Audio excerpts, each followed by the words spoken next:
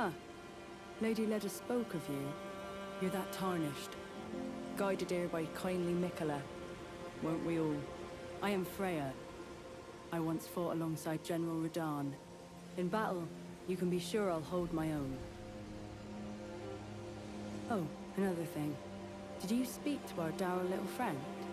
If you've yet to do so, have him give you a map of the Cross's whereabouts. You'll find more of them dotted about these lands. They are Miquella the Kind's footprints.